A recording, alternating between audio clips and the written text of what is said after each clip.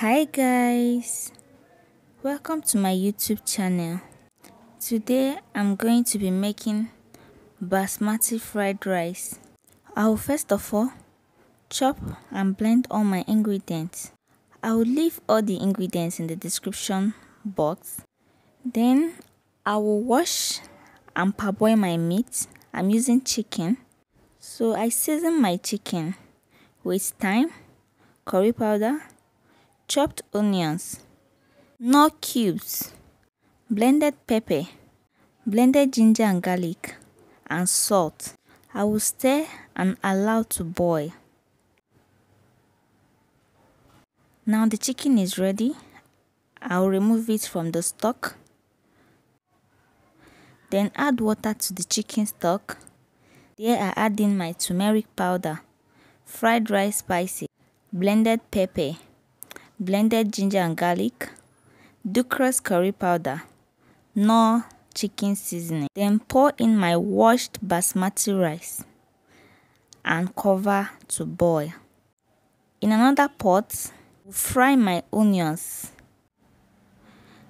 with blended garlic and ginger.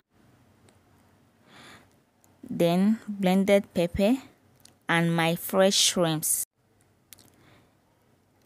I will also add Ducros curry powder. It helps with the color. Fried rice spice. If you have watched to this point, please support me by subscribing to my channel please. Then I go in with my ingredients. Chopped vegetables, green peas, red bell pepper, yellow bell pepper, green bell, green beans, carrot, spring onions. And sweet corn. You stir and stir. So now our rice is ready. We mixed together with the fried vegetable.